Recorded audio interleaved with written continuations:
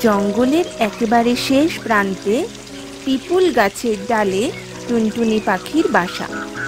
টুনটুনি দুটো ডিম পেরেছে ডিম দুটো ফুটলে আমার দুটো মিষ্টি মিষ্টি ছানা হবে।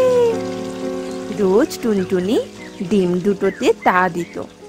কিন্তু টুনটুনি জানতো না একটু দূরে ঝোপের আড়াল থেকে এক দুষ্টু শেয়াল ওর বাসার দিকে তাকিয়ে থাকে। হে টুনটুনির ডিম দুটো ভারী লোভনীয়। খুব ইচ্ছা করছে ডিম দুটো পেটের মধ্যে চালান করতে। হে হে। টুনটুনি যখন বাসায় থাকবে না, তখনই কাজটা আমায় করতে হবে। একদিন টুনটুনি খাবারের খোঁজে বাসা থেকে বেরোলো। আর শেয়ালটাও ছিল সুযোগের অপেক্ষায়। টুনটুনি এখন বাসায় নেই। এই সুযোগে ডিম দুটোকে সাবার করতে হবে। ডিম দুটো নিশ্চয়ই খুব ভালো খেতে হবে। হে এই বলে শেয়ালটা চুপি সারে টুনটুনির বাসার দিকে এগোতে লাগল।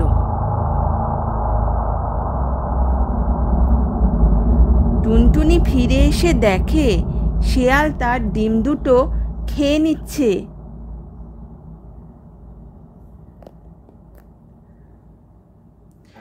দুষ্টু শেয়াল, পাজি শেয়াল, আমার ছোট্ট ছোট্ট ডিম দুটোকে খেয়ে নিল আমার ছানা দুটো পৃথিবীর আলো দেখতে পেল না।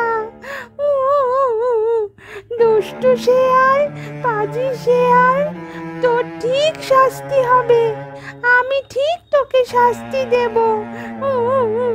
দুষ্টু শেয়াল পাজি শেয়াল একদিন টুনটুনি ওর বন্ধু কাকদিদির বাড়ি গেল।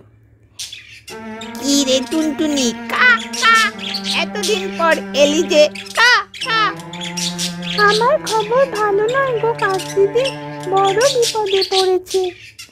কা কা কেন রে? কি হলো? কা কা সব কথা আমায় খুলে বল দেখি। টুনটুনি সব কথা কাকদিদিকে খুলে বলল। তুই একদম চিন্তা করিস না, টুনি। আমি তোকে যেমন বলব, তুই ঠিক তেমন করে কাজ করে যা। ওই শেয়ালটাকে ঠিক জব্দ টুনটুনি সাথে কথা বলে নিজের বাসায় ফিরে গেল। মাস কয়েক বাদে টুনটুনি আবার দুটো ডিম পারল আর দুষ্টু শেয়ালটাও আবার এসে হাজির হলো। টুনটুনি আবার দুটো ডিম পেরেছে দেখছি। এই দুটোকেও আগের দুটো ডিমের মতো সাবার করে দেব। কিন্তু শেয়াল সুযোগ পাচ্ছিল না, কারণ এই সময় টুনটুনি বাসা ছেড়ে কোথাও যাচ্ছিল না। দিন কয়েক বাদে ডিম দুটো ফুটে দুটো ছোট্ট ছোট্ট ছানা বের হলো। শেয়ালের আর তর সয় না। সে গুটি গুটি এসে টুনটুনির গাছের নিচে হাজির হলো।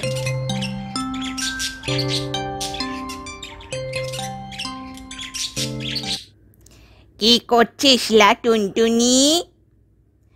পেন্নাম হই মহারানী পেন্নাম হই মহারানী। টুনটুনির মুখে মহারানী শুনে শেয়াল ভারী খুশি হয়ে ফিরে চলে গেল। এইভাবে মাঝে মাঝে শেয়াল এসে হাজির হয় আর টুনটুনি তাকে মহারানী বলে ডাকে। শেয়াল শুনে খুশি হয়ে চলে যায়। দেখতে দেখতে কদিনের মধ্যেই টুনটুনির ছানা দুটো বড় হয়ে গেল। বাছারা, তোরা উঠতে পারবি? মা, আমরা উঠতে পারব। তবে যা দেখি তো উড়ে গিয়ে ওই দূরের গাছটায় গিয়ে বস। ছানাগুলো তক্ষুনি উড়ে দূরের গাছটাতে গিয়ে বসল। টুনটুনি ভাবলো, এবার পাজি শেয়ালটা আসুক দেখি। কিছুক্ষণ পরেই পাজি শেয়ালটা এসে হাজির হলো ছানা দুটো খাবার লোভে। কি করছিস, লা টুনটুনি?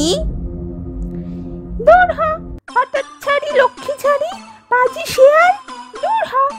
বলেই ফুরুত করে টুনটুনি উড়ে পালালো। আর দুষ্টু শেয়ালটা লাফিয়ে ঝাঁপিয়ে গাছে না উঠতে পেরে টুনটুনিকেও ধরতে পারল না, ছানাও খেতে পারল না।